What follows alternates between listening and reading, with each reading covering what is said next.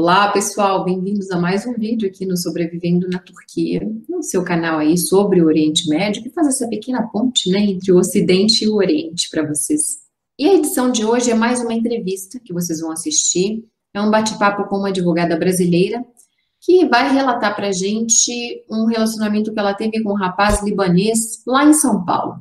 Infelizmente, é uma experiência negativa que ela teve com os rapazes, para dizer o mínimo, tá? Vocês vão ouvir aqui uma história muito complicada, e lembrando, obviamente, que essa foi uma experiência pessoal vivida por ela, né? E não necessariamente retrata fielmente ou retrata de alguma maneira o restante todo do povo libanês, muito longe disso. Então, um filtro é sempre muito necessário ouvir essas histórias. Antes de entrar com ela, vou dar um resumo para vocês, para vocês já se situarem, para saber o que esperar da situação. Seguinte, nós vamos conversar com a Camila, uma advogada de 20 alguma coisa anos, não vamos zerar em cima da Camila, que está com uma tarja e a voz modificada. Mais uma vez repetindo, a Camila está com a voz modificada, às vezes vocês falam para mim, mas isso aí não é uma mulher, é um homem.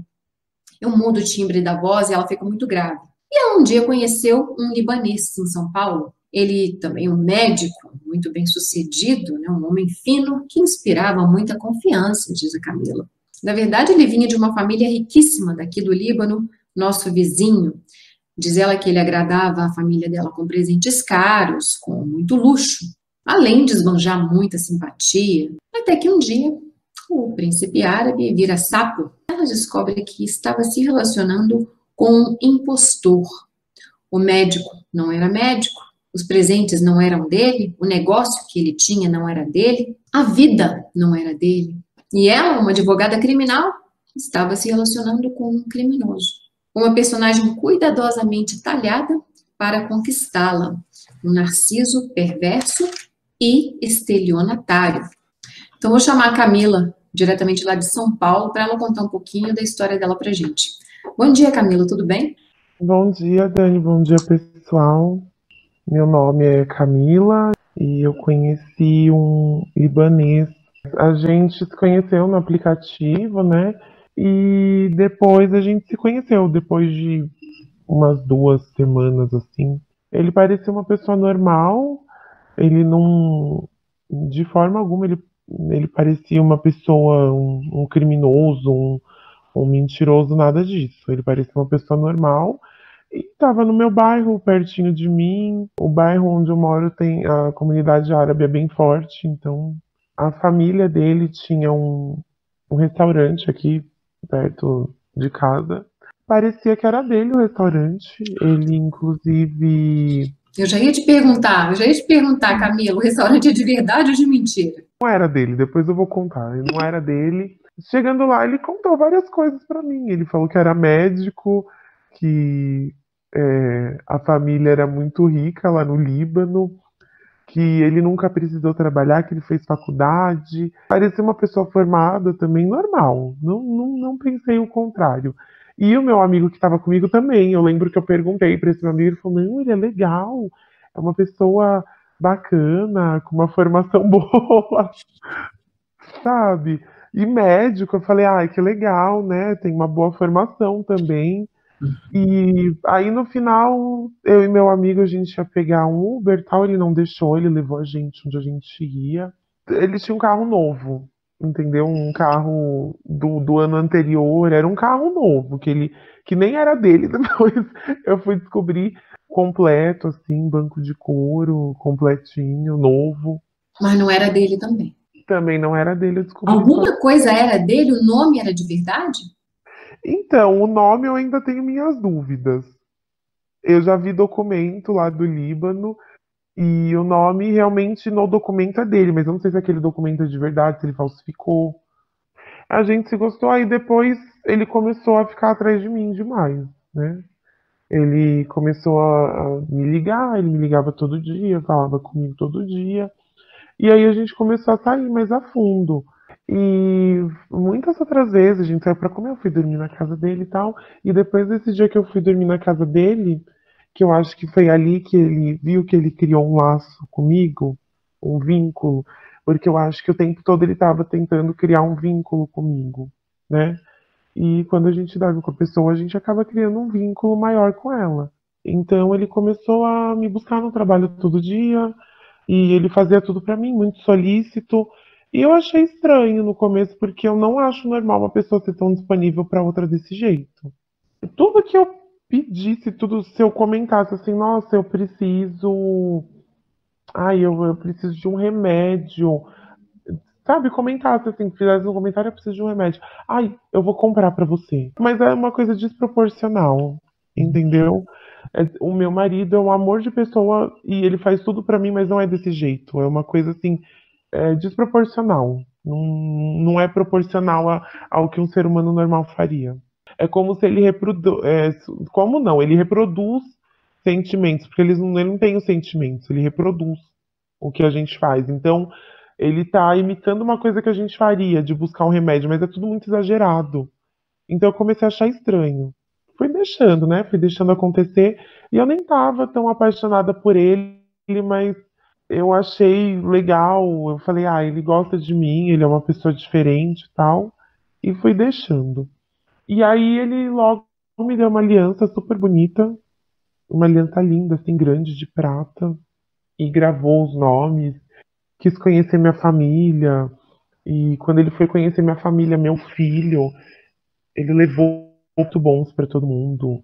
É, vinho para o meu pai, levou flores caríssimas para minha mãe, presentes para o meu filho. Não vou falar que meus pais gostaram dele de primeiro, porque todo mundo ficou meio pé atrás. Mas todo mundo aceitou, né? Porque é de outra cultura, mas todo mundo achou que ele queria me agradar e tal. Tinha quanto tempo no Brasil aí?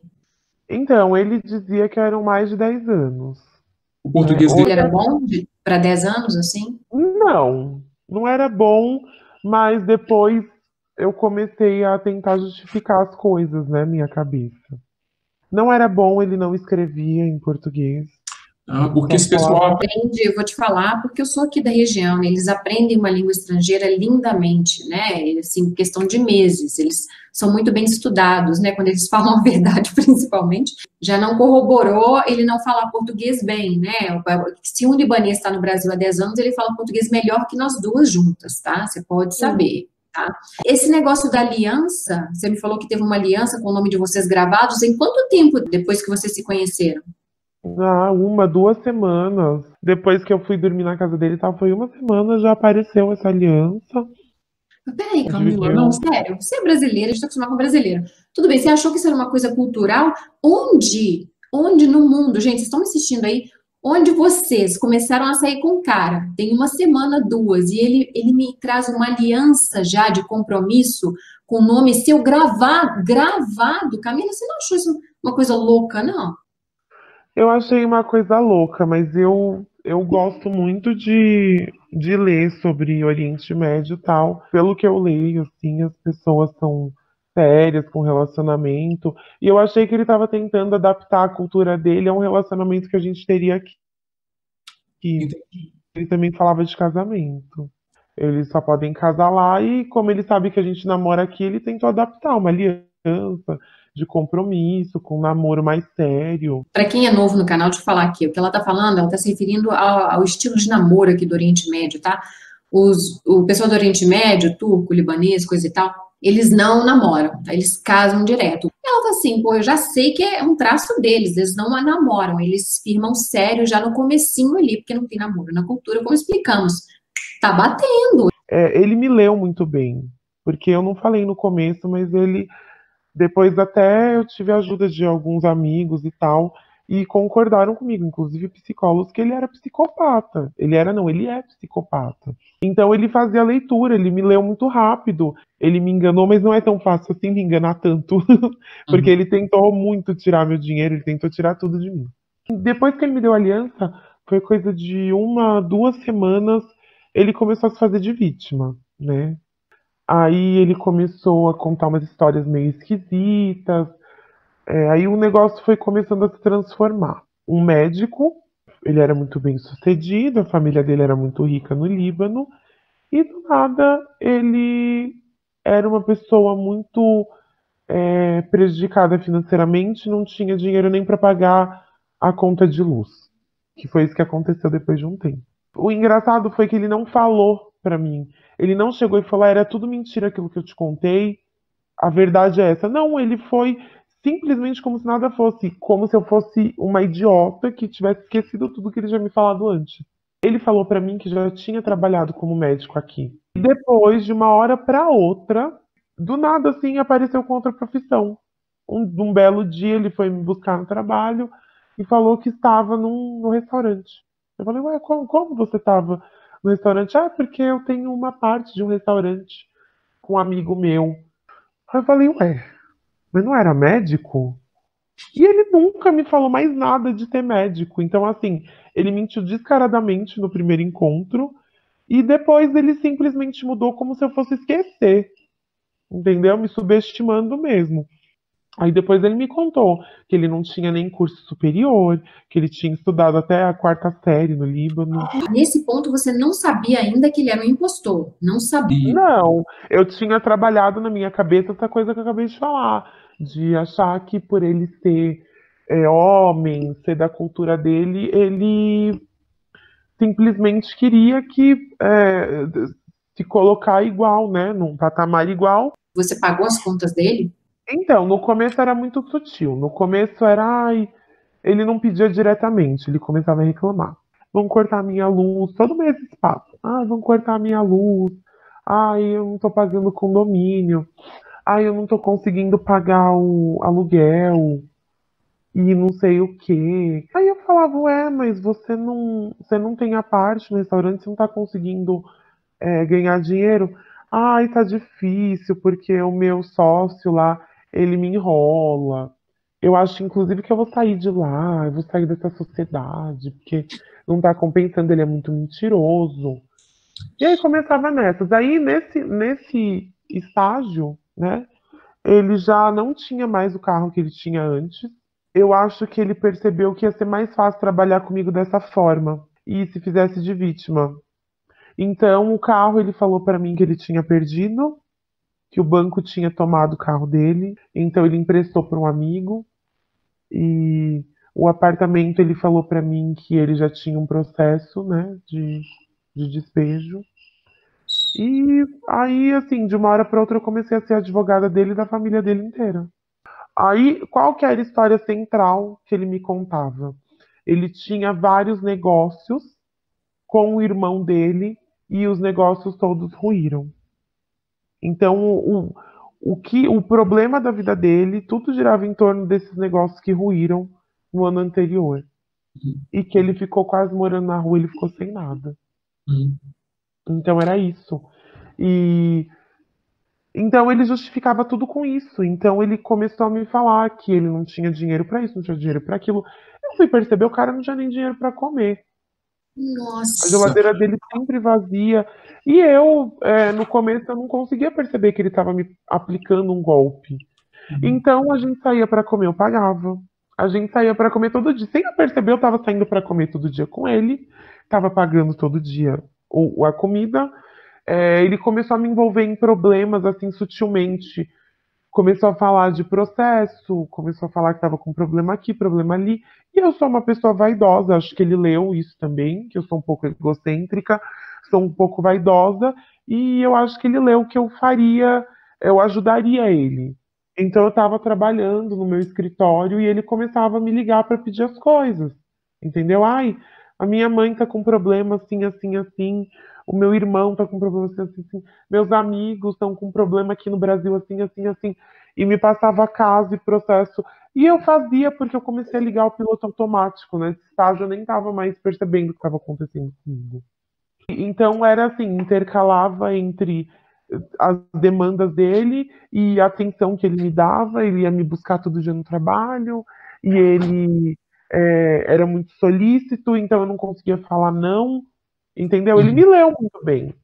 Uhum. Ele sabe que eu, ele, ele, eu funciono assim, pelo menos. Eu não sei o resto das pessoas, mas eu uhum. me dou, eu, eu dou para os outros o que a pessoa está me dando. Então, ele, eu acho que na cabeça dele, se ele fizesse tudo para mim, me buscasse todo dia, me tratasse bem, tratasse meu filho bem e tudo mais, eu ia fazer tudo para ele. Então, ele começou a se aproveitar demais de mim.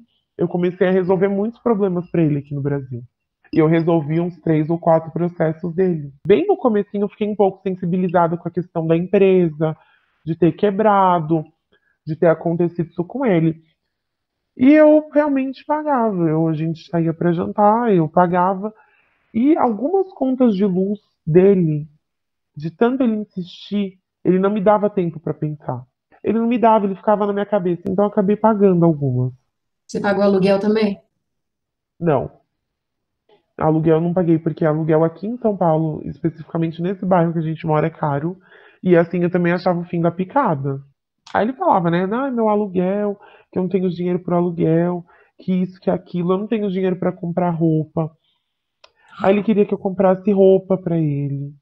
Eu ia comprar roupa para o meu filho, que meu filho precisava ir para a escola.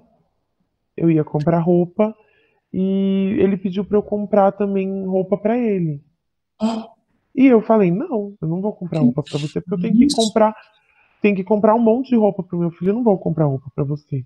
Ele começou a brigar comigo. E aí ele terminou comigo porque ele falou que eu era uma insensível, que ele fazia tudo para mim e eu nunca fazia nada para ele, não ajudava nada, sendo que eu já tinha resolvido quatro processos para ele. Ô, ô Camila, é, é, com que visto que ele estava aí no Brasil, de refugiado? Então, eu não entendi isso até hoje. Eu não sei nem se ele estava, se ele usava os documentos dele aqui. Entendeu? Sério? Ele me leu. Eu já tive, por exemplo, é, transtorno alimentar, sabe? Anorexia, bulimia, eu já sofri com isso. Eu sempre me acho gorda, apesar de que eu não sou, eu não, não, não, sou, não sou uma mulher gorda, mas de tempos em tempos eu acho. E então, assim, a primeira maldade que eu percebi que ele fazia comigo era essa questão de peso. É, eu sou muito preocupada com isso, muito neurótica, por eu ter tido transtorno. Eu ainda tenho, eu fiz acompanhamento psicológico. Quanto mais eu falava para ele, poxa, eu tô engordando, eu acho que eu tô engordando um pouco, mais ele queria sair para comer. Uhum. E eram umas maldades assim que eu não percebia, entendeu? Eram pequenas maldades que ele fazia. Então, se eu falasse, por exemplo, ah, eu tô com sono, eu tô com muito sono hoje, ele queria ficar conversando, ele deixava a luz acesa, ficava assistindo novela turca no celular do meu lado, alto, entendeu? E pequenas maldades assim mesmo. Com meu filho a mesma coisa. Pequenas? Isso é um, veneno uma, uma, de manipulação de mestre, né? Isso, isso não é pequeno, não. Isso deixa a pessoa doente. É o narciso perverso, né? Tem um, vídeo aqui no canal com uma psicóloga, ela já explicou indivíduos dessa maneira aqui. Eu vou deixar linkado, tá? Nesse vídeo, narciso perverso. Isso aí deixa o recipiente, no caso a dona Camila, doente. Isso te, isso te joga para uma cama com uma depressão profunda. Então ele sabia que isso me pegava. Eu fiquei quase um ano com ele, né? Eu fiquei um ano, alguma coisa assim, um ano e pouco. E assim, eu me sentia. Eu nunca me senti tão feia. Eu tô perdendo cabelo até hoje. Eu tô fazendo um tratamento com minoxidil o meu cabelo cai. Eu tinha muito cabelo. E de tanto nervoso que eu passei com ele, estresse, e tudo que ele fez comigo, meu cabelo tá caindo até hoje. É, ele começou a fazer um, um, negócio assim psicológico comigo horrível. Então, uhum. ele falava para mim: "Ai, todo mundo acha que eu sou mais bonito que você. As pessoas, ai, as mulheres falam que você é feia para mim, que você". Aí ele falava para mim que eu tinha que comer mais, que eu tava muito magra, que eu só tinha osso. Ai, que perigo isso, que perigo, que perigo esse tipo de gente. Gente, pelo amor de Deus, eu falei isso no último vídeo do meu ex-indiano, o penúltimo vídeo meu aqui. Isso é uma, isso é de um perigo, de um tamanho, porque se pega a pessoa certa, olha aqui minhas aspas, acaba com ela, tá? É. Vamos tomar cuidado. Ah. E então, é, então ele ficava fazendo essas, essas pequenas maldades, né, comigo, de não me deixar dormir. É, às vezes, coisa boba, assim, é, às vezes a gente estava no carro, indo para algum lugar mais longe, assim, eu falava que estava com vontade de fazer xixi. Era só ele parar em algum lugar para fazer xixi, ele não parava. Então era assim, é, eram maldades e, e, eu ficava tão exausta, eu ficava cansada e eu não entendia por que, que eu ficava tão cansada, entendeu? Mas assim, eu tava todo dia muito cansada, com a cabeça cheia, estressada, e eu não entendia por que, eu já tava me sentindo feia, eu achava que eu tinha pele feia, que eu tinha o cabelo feio, o corpo feio, ou que eu era muito gorda, ou que eu era muito magra. É, aí ele começou também a atacar a minha profissão, falou que eu nem era tão boa assim no que eu fazia, que tinham advogados melhores, que eu não fazia nada para ele, que eu era uma pessoa ruim. Aí começou a atacar o jeito que eu fazia com meu filho, é, que eu fazia tudo que meu filho queria. Isso porque eu não queria ajudá-lo financeiramente. Porque o aluguel eu não ia pagar de qualquer forma. E aí começou a me pedir dinheiro emprestado para abrir negócios, né? Começaram a aparecer outros carros que hoje eu acho que os outros carros eram outras mulheres que davam para ele, que emprestavam para ele. Às vezes ele aparecia com dinheiro, sim. Ele aparecia com notas de 100. E eu falava, mas você não voltava sem dinheiro? Ah, não, isso daqui foi o que meu sócio me deu. Só que eu tenho certeza que era mulher. E aí, dessa primeira vez que a gente terminou, que ele falou para mim que do, o negócio das roupas e tal, então ele terminou comigo arranjou uma outra menina, já colocou a menina dentro da casa dele, isso a primeira vez. Já colocou a menina dentro da casa dele, era uma menina nova também da minha idade, e começou a fazer o mesmo processo que fez comigo. Só que na época eu estava muito apaixonada, eu fiquei atrás dele. Eu fui atrás dele, eu pedi para conversar. Eu falei: não, peraí, vamos conversar. É... O meu filho estava precisando de roupa também. Eu não posso ficar fazendo tudo também. Eu não sou, não sou rica, milionária né? Eu não posso ficar comprando coisa para você, bancando você, você tem que se ajudar, você tem que trabalhar. É, não, porque o restaurante está ruim. E nesse, nessa época ele já falou que estava querendo sair da sociedade que nunca existiu. Aí a gente acabou voltando, só que ele estava ficando comigo, ele voltou comigo e tava, e continuava com ela. E um dia eu descobri, contei para ela, só que ele já tinha feito a lavagem cerebral nela também. Então ela não acreditou em mim. Ela achou no fim eu sair como louca, como recalcada, como invejosa.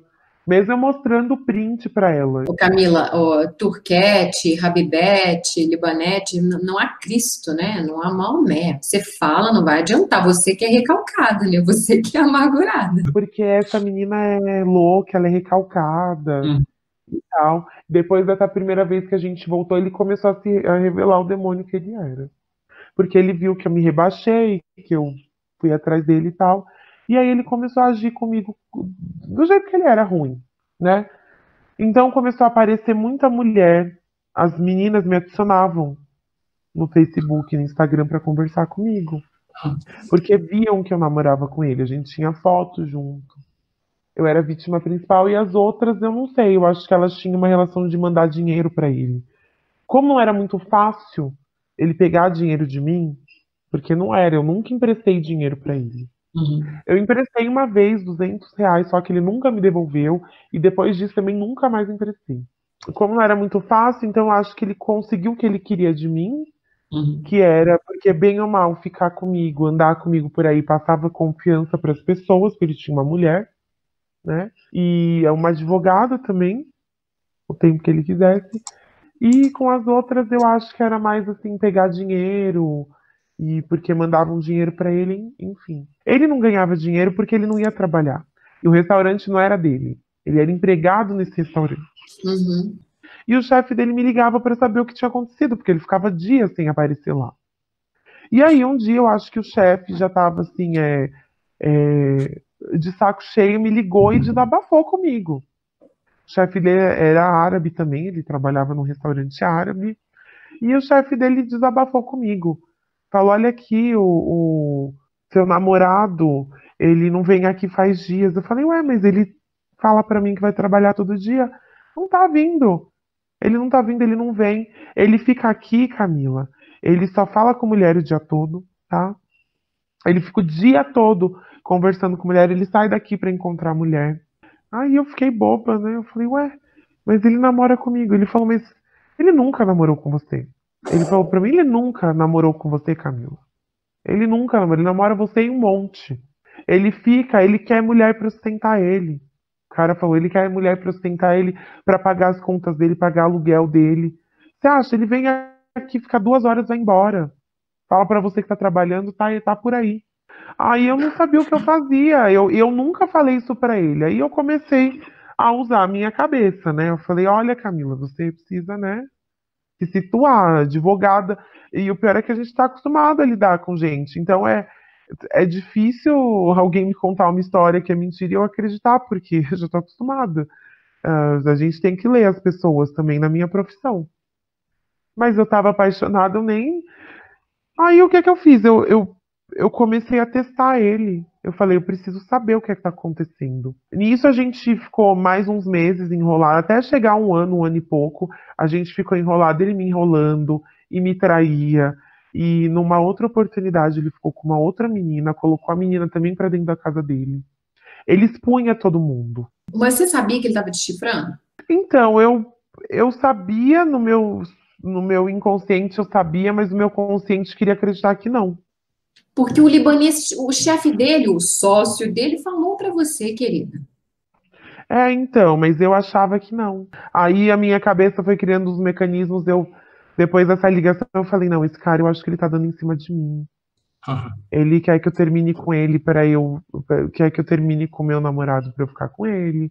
Tá dando em cima de mim, ele é muito safado. Você é uma típica vítima de gaslighting, né? De, de abuso mesmo, abuso psicológico. Você vai arrumar um milhão de desculpas para justificar o abusador, né? O agressor. Eu me senti injusta, eu me senti uma pessoa horrível. Eu falava, meu, coitado do cara, sabe? O cara tá aqui no Brasil não tem nada, eu tô fazendo isso com ele. Então toda vez que ele terminava comigo, eu ficava me sentindo muito mal. Você é um caso clássico. Deixa eu te parar aqui, porque nessa altura, quem chegou até aqui com a gente é o seguinte. Uh, eu, eu, vou falar com vocês, eu vou ser completamente verdadeira. Quando eu comecei a fazer isso aqui, essas entrevistas, uh, antes delas, quando eu conversava só por né, texto, eu não via a cara delas, eu não ouvia o timbre da voz delas, eu não sabia quem que essas meninas eram, tá? E eu julgava falava, gente, como pode me cair nisso, né? Uma médica aqui, uma advogada ali, política, uma deputada estadual, Camila, segura aí. É, é uma deputada nossa aí.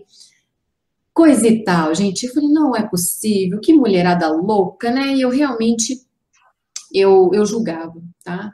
Eu sou uma pessoa que gosto muito de dar um meia-culpa, que eu acho que faz bem para a saúde. E é digno, né?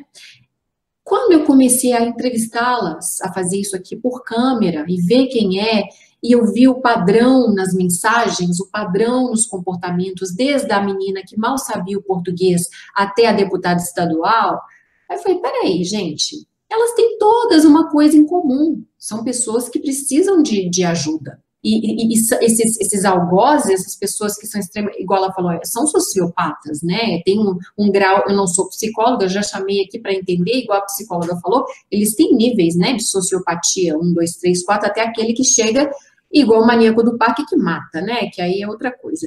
Que não sabemos também qual que é o caso, não, não quero nem me aprofundar demais, não. Então continua, minha linda, e aí? Depois de um período assim que ele via que eu não ia fazer nada para ele, que eu acho que ele via que eu, eu era uma vítima até certo ponto. Eu não seria uma vítima como ele estava acostumado. Ele começou a largar a mão, então ele começou a me maltratar mesmo e as, as traições dele começaram a ficar cada vez mais evidentes. Só que eu estava me sentindo muito mal, porque eu achava que a culpa era minha eu achava que eu era culpada por ele estar tá fazendo aquilo.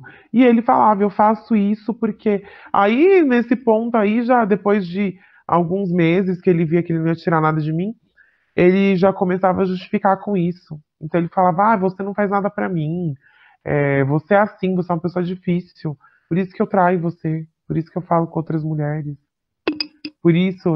E começava a justificar e conhecer uma outra menina colocou a menina também para dentro da casa dele. Então, depois de um mês que ele estava com essa menina, que ele colocou a menina para morar com ele praticamente, ele deu um pé nessa menina e voltou comigo.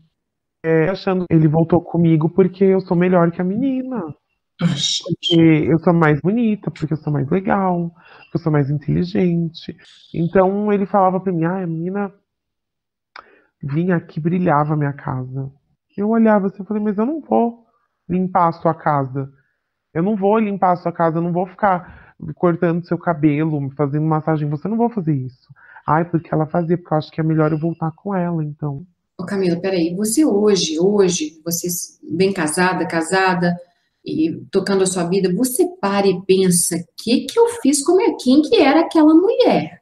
que, que foi aquilo? É claro que eu penso, eu penso toda hora. Eu, eu, mas eu também não fico me culpando. Eu não entro nessa de me culpar, porque eu sei que às vezes a gente está fragilizado e essas pessoas fazem uma leitura da gente, acabam dando o que a gente quer. Eu não me culpo, eu, eu levei como aprendizado. Não, mais como um espanto mesmo, porque você parece ser uma pessoa que sabe o que quer. Você me deixa cair, uma advogada criminal, agora pensa no, no, na ironia do destino, na ironia do fato, você me cair nas mãos de um criminoso, né? É, ficava me garantindo assim, eu me achava muito boa, na verdade. Eu sou meio egocêntrica, eu falava, não, isso nunca vai acontecer comigo. E aí eu fui caindo, caindo, caindo, e eu me sentia cada vez mais triste. Eu falei, meu Deus, ele é um psicopata. O que que eu tô fazendo? O que é que eu tô fazendo? Aí eu comecei a correr e tentei me blindar de todas as formas. Então, a primeira coisa foi pegar um dinheiro que eu tinha e eu coloquei na conta do meu irmão. Eu conversei com meu irmão, não expliquei o motivo. Eu peguei esse dinheiro, porque até, até esse ponto eu não sabia até que ponto ele tinha minha documentação. Comecei a fechar minhas coisas, é, rever documentação, sair de alguns processos. E foi um processo bem doloroso, né? Porque eu tinha que desconstruir o que eu tinha construído dele. E ele tentou, por muitas vezes, ele tentou me deixar mal e falou coisas muito pesadas para mim. Mas eu já estava nesse processo de desapego, inclusive de blindar minhas coisas. E no final, o, a cereja do bolo foi quando ele tentou me aplicar o golpe final, que foi me pedir uma quantidade X de dinheiro para abrir um negócio. E eu falei que eu não daria. E então ele falou: Ah, eu vou terminar com você então, porque você é uma burra, idiota, você não faz nada para mim. Eu devia ter ficado com a outra menina lá que fazia tudo, com as outras mulheres e não sei o que. Aí eu falei: Tá bom. Aí ele terminou comigo, ficou por isso mesmo. Esse homem fica atrás de mim até hoje. Ele fica atrás de mim. Ele me liga de tempos em tempos, como se nada tivesse acontecido já ameaçou minha família, já me ameaçou. Ameaçou até meu marido, que ele nunca viu na vida. Você não acha bom fazer um BO desse cara, não? Então, é uma época que estava mais. que as ameaças estavam mais intensas e que ele estava mais na minha cola, eu achei bom. Até conversei com a minha família. Mas eu queria deixar também um recado que pelo menos aconteceu comigo. A gente se envolve com gente assim é, a gente acha que a gente nunca mais vai ser amada, que a gente nunca mais vai conseguir ninguém que goste da gente, assim, porque eles é, dispensam uma atenção para você que é sobrenatural. Uhum. Como eu falei, se for o caso de você se relacionar com um narcisista, a pessoa não tem sentimento, então a pessoa reproduz sentimentos, ela copia as reações que a gente tem. Isso era muito nítido nele. Então, é, é, coisas assim, desnecessárias, que ninguém faria. E o que eu queria dizer, né, que eu falei que eu ia dar um recado, é que a gente sempre vai conseguir alguém melhor. Isso daí é, é, é atraso de vida, manter um relacionamento assim. Ai, mas a pessoa dá atenção. A pessoa dá atenção a partir do momento que ela tem interesse. Depois ela vai te descartar como se você fosse um lixo. Entendeu? E assim, eu posso falar por mim. Eu me livrei desse relacionamento e hoje eu sou casada com uma pessoa maravilhosa. É hum. muito melhor que esse cara. E o meu marido ele é uma pessoa normal e ele faz tudo para mim. Ele é um amor comigo. A gente sempre vai arranjar algo melhor. O seu marido é brasileiro? É, brasileiro. Eu não quero mais nada com gente de outros, outros lugares, não. Hum. ele é hum. maravilhoso. E assim, você vai achar outra pessoa, entendeu? E não pode se enganar com essa, com essa falsidade deles. Eu vou te perguntar uma última coisa que eu não te perguntei. Tem chance de você voltar com esse cara? Nem pensar. Uma última coisa que eu esqueci de falar é que ele era casado no Líbano e ele tinha um filho também no Líbano. E nem aí para criança, nem aí para mulher, a mulher ligava para ele e é isso, gente. É complicado. Gente, gente, então aproveitando, pegando o gancho aqui, toma cuidado com o pessoal que está aí no Brasil.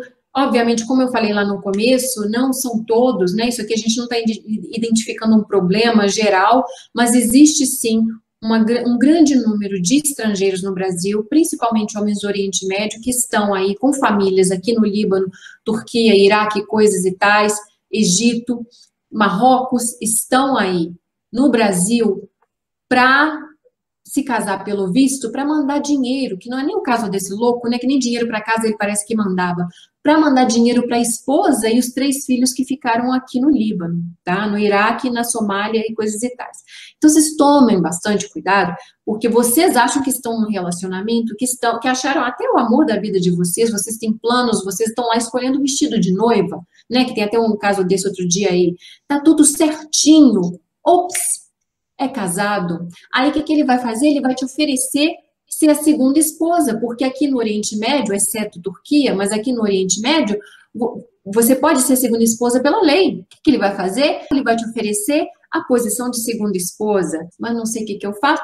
Muitas aceitam, né, gente? Nós temos casos aqui brasileiras, criadas no Brasil, elas aceitam ser a segunda esposa em poligamia de um árabe porque já estão envolvidas ali dois, três anos no relacionamento. A menina fica assim, o que saber no que vai, no que vai, me casa. E a segunda esposa mora lá no Marrocos como segunda esposa. Bom, é um negócio que não daria para mim, mas até que não é uma coisa interessante nem na prática ser a segunda esposa. Todo mundo sabe que a primeira esposa é que é a manda-chuva, ela que é a chefe né? Ela que dá o, a coordenada ali, o apito do samba é da primeira esposa, então não é nenhuma uma posição interessante de estar nela.